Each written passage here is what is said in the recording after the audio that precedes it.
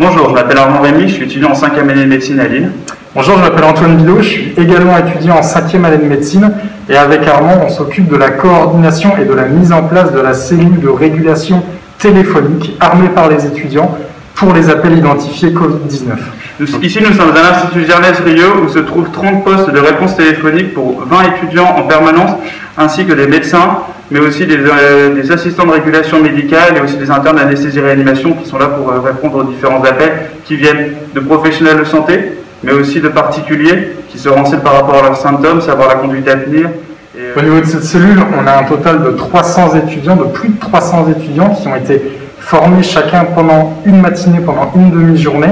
afin de permettre l'entraînement à la prise d'appel, de repérer les signes de gravité, de se familiariser également avec les logiciels, puisque la régulation médicale est quelque chose de complètement nouveau dans l'univers et dans les études de médecine. En parallèle de ça, il y a aussi un pool de 30 étudiants qui sont, eux, localisés au niveau du SAMU, qui, eux, sont là pour renforcer les effectifs du SAMU qui sont soit en arrêt maladie, soit durant cette période de crise avec le nombre d'appels qui augmente. Donc ça fait partie des étudiants qui prennent des bilans, c'est-à-dire quand il y a des ambulances ou des pompiers qui arrivent sur place, eux, à partir de ce moment-là, récupèrent les informations pour les transmettre aux médecins, ou aussi s'occuper de l'envoi d'ambulance.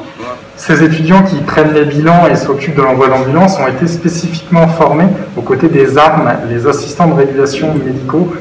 pour permettre de complètement s'intégrer dans les équipes du SAMU et de bien comprendre quelles sont leurs missions. Une de, nos, secondes missions est de permettre aux étudiants d'avoir suffisamment de connaissances actualisées concernant la prise en charge des appels Covid. Cela passe par la mise à jour de, protocoles concernant les, différentes maisons médicales dédiées qui ouvrent. Là, actuellement, euh, la possibilité pour les personnes de se faire dépister sous certaines conditions en laboratoire privé, c'est à nous aussi derrière de communiquer ces informations aux étudiants pour qu'ils puissent répondre de manière efficace et pertinente à tous les appels. L'ensemble de cette mobilisation en deux sites, ici à l'Institut Germérieux et également au SAMU, n'aurait pas été possible sans la mobilisation de plus de 350 étudiants. Tous se sont portés volontaires extrêmement rapidement.